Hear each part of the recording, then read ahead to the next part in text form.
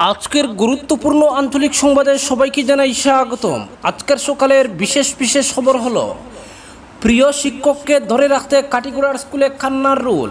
অবসরপ্রাপ্ত শিক্ষককে নিয়ে আবেগিক পড়ুয়ারা প্রতিদিন স্কুলে আসার প্রতিশ্রুতি শিক্ষকের।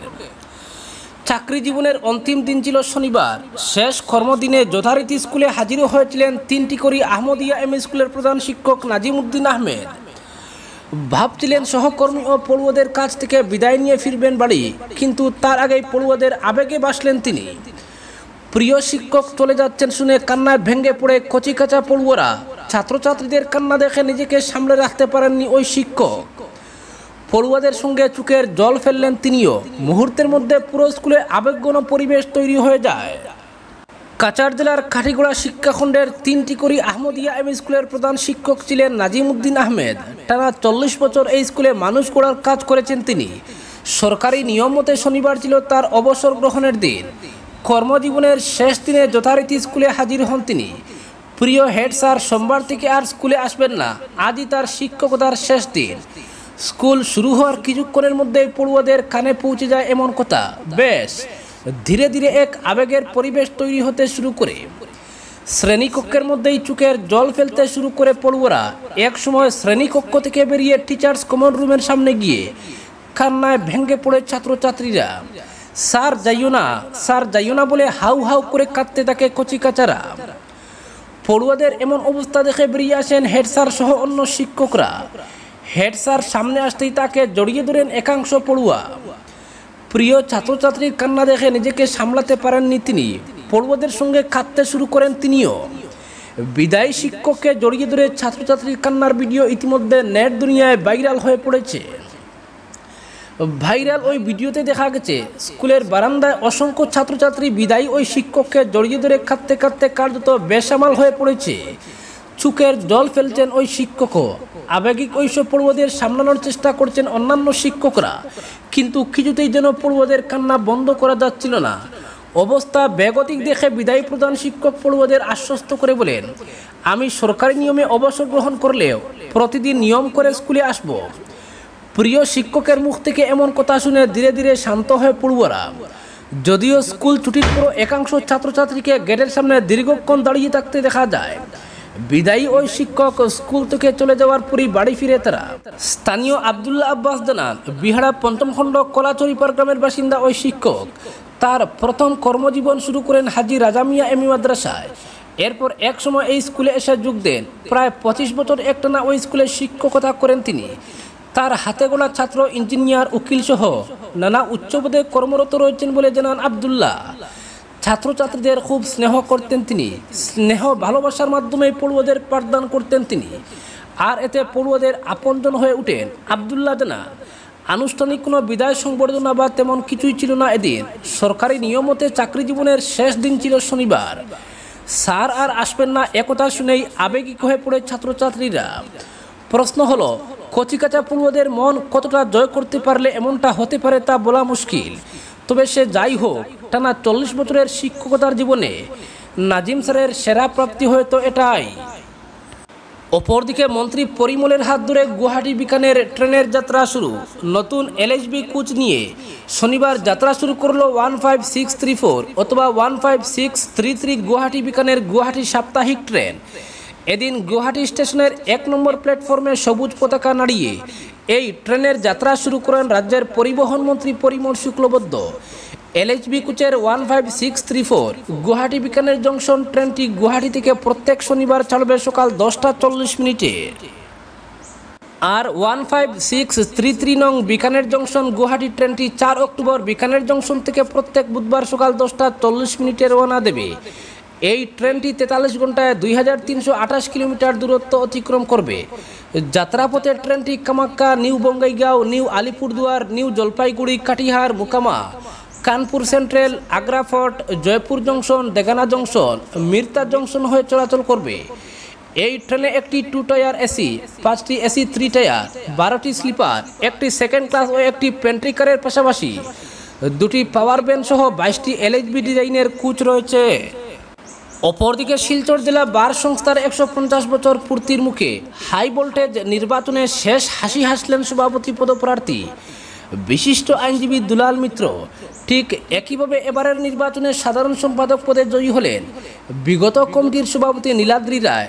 দুলাল মিত্র তার প্রতিদ্বন্দ্বী অনিল চন্দ্র দেখে তিয়াত্তর বুটে পরাজিত করেছেন। চুয়াত্তর বুটে জয়ী হয়েছেন নীলাদ্রি রায়। তিনি হারিয়েছেন তার প্রতিদ্বন্দ্বী আব্দুল হাই লস্করকে। দুলাল মিত্র মোট বুট পেয়েছেন তিনশো বারোটি। মর্যাদা সম্পন্ন সাধারণ সম্পাদক পদে নীলাদ্রি রায় পেয়েছেন দুইশো তেষট্টি বুট। আব্দুল হাই লস্কর পেয়েছেন একশো উননব্বই বুট। সাধারণ সম্পাদক পদে তৃতীয় স্থানে রয়েছেন রাজীব নাথ। রাজীবের প্রাপ্ত বুট একশো বারো। এছাড়াও সহসভাপতি পদে জয়ী হয়েছেন মহিলা আইনজীবী টিঙ্কু বৈদ্য। যুগ্ম সচিব পদে জয়ী হয়েছেন অভিজিৎ কর। সহকারী সচিব পদে জয়ী হয়েছেন বিশ্বদীপ চক্রবর্তী। টিঙ্কু বৈদ্যের প্রাপ্ত বুট দুইশো তিয়াত্তর। তার নিকটতম প্রতিদ্বন্দ্বী সুমিতা সম্পদ্দার পেয়েছেন একশো সাতান্নটি বুট। একই পদে সন্দীপনাথ একশো বুট এবং বিকাশ দাস পুরকাস্ত পেয়েছেন বাষট্টি বুট। যুগ্ম সচিব পদে অভিজিৎ কর দুইশো উনআশি বুট পেয়ে জয়ী হয়েছেন। তার নিকটতম প্রতিদ্বন্দ্বী জিয়াউল হক পেয়েছেন একশো বারো বুট। বলতে গেলে রেকর্ড একশো সাতষট্টি বুটে জয়ী হয়েছেন অভিজিৎ। তবে নির্বাচনের আগে যে আইনজীবীর সবচেয়ে বেশি চর্চা ছিলেন সেই ধর্মানন্দ দেবের প্রাপ্য বুটের সংখ্যা নব্বই। যুগ্ম সচিব পদে অভিজিৎ চক্রবর্তী উনসত্তর বুট পেয়ে চতুর্থ স্থানে রয়েছেন। সহকারী সচিব পদে বিশ্বদীপ চক্রবর্তী বিপুল বুটে জয়ী হয়েছেন। তার প্রাপ্ত বুটের সংখ্যা দুইশো সাঁত্রিশ তার নিকটতম প্রতিদ্বন্দ্বী রমেশ সিং পেয়েছেন একশো সাতচল্লিশ বুট। একই পদে মামুদ হাসান মজুমদার পেয়েছেন একশো উনচল্লিশ বুট। এবারের নির্বাচনে পাঁচটি পদে মোট প্রার্থীর সংখ্যা ছিল ষোলো। এর মধ্যে সহসভাপতি এবং যুগ্ম সচিব পদে সর্বাধিক চারজন করেছিলেন। তবে যুগ্ম সচিবের প্রার্থী পদগুলোই সবচেয়ে বেশি চর্চায় ছিল। এর মধ্যে দমানন্দ দেবকে হেভিওয়েট প্রার্থী তালিকায় রাখা হয়েছিল।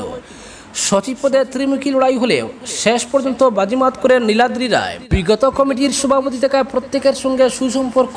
তাকে নির্বাচন প্রক্রিয়ার শুরু থেকেই বাড়তি মাইলেজ দিয়েছে বলে মনে করছেন অনেকে। মুদ্রা কথা, এবারের হাই ভোল্টেজ নির্বাচনকে ঘিরে শুরু থেকেই একটা হাইপ তৈরি হয়েছিল। বার লাইব্রেরির দেড়শো বছরের মুখে এই নির্বাচন ছিল অত্যন্ত গুরুত্বপূর্ণ। এবারের নির্বাচনে রিটার্নিং অফিসারের দায়িত্ব সামলেছেন বিশিষ্ট আইনজীবী দীপক কুমার দেব। সহযোগী রিটার্নিং অফিসার হিসেবে ছিলেন স্বর্ণালী ঘোষ, পঙ্কজ দে, রমিজুর রহমান বড়বুইয়া, সৌমেন পাল চৌধুরী, তুহিনা শর্মা। শনিবার এজিএম শুরু হয় বেলা এগারোটা নাগাদ। বিকেল চারটা নাগাদ শুরু হয় ভোটিং পর্ব। দু একটি বিষয়ে এজিএমে কিছুটা উত্তাপ চড়ালেও সহমতের ভিত্তিতে সমাধান করা হয়। ফলে নির্বিঘ্নে সম্পন্ন হয় বুটি। জয়ের পর সবাইকে নিয়ে কাজ করে যাওয়ার অঙ্গীকার করেন সভাপতি দুলাল মিত্র এবং সচিব নীলাদ্রি রায়। অপরদিকে দলেশ্বর বাইপাসের ডিভাইডারে শনিবার বাইক নিয়ে ধাক্কা মেরে গুরুতর আহত হয় চালক। এই ঘটনাকে কেন্দ্র করে সেখানে তীব্র উত্তেজনা দেখা দেয়।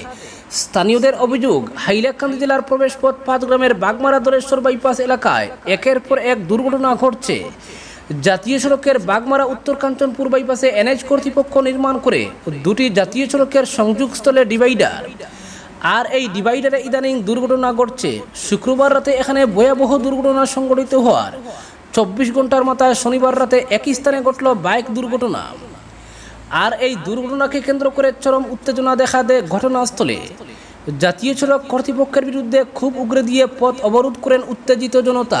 স্থানীয়দের অভিযোগ, অবৈজ্ঞানিক পদ্ধতিতে এখানে ডিভাইডার নির্মাণ করা হয়েছে। আলোর কোনো ব্যবস্থা না থাকায় অহরহ দুর্ঘটনা ঘটছে। এদিকে সড়ক অবরোধের খবর পেয়ে পাঁচগ্রাম পুলিশ ঘটনাস্থলে পৌঁছালে আরও উত্তেজিত হয়ে পড়েন ক্ষুব্ধ জনতা। এক সময় পুলিশের সঙ্গে তর্কাতর্কিতে লিপ্ত হন স্থানীয়রা। পরিস্থিতি উত্তপ্ত হওয়ার খবর পেয়ে আলগাপুরের বিধায়ক নিজামুদ্দিন চৌধুরীর প্রতিনিধি জামাল উদ্দিন চৌধুরী, কালীনগর জিপি সভাপতি সহ জনপ্রতিনিধিরা অবরোধ স্থলে এসে স্থানীয় মানুষকে বুঝিয়ে অবরোধ তুলে নেওয়ার চেষ্টা করেন, কিন্তু কোনো কাজ হয়নি।